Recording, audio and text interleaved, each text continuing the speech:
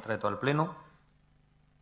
Quiero pedir la incorporación al BAE de dos proyectos.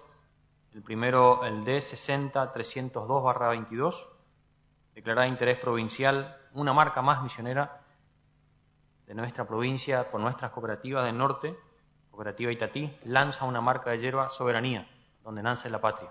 Una más en nuestra provincia que tenemos que sentirnos orgullosos. Como sí también el proyecto de declaración D603-01-22, declarada de interés provincial la plantación de yerba mate en la avenida Libertador para eh, turismo, una de las avenidas más largas de Andresito, para mostrar dónde nace, qué es lo que somos y qué es lo que vamos a tener en nuestro pueblo. Gracias, señor presidente. Votamos los proyectos.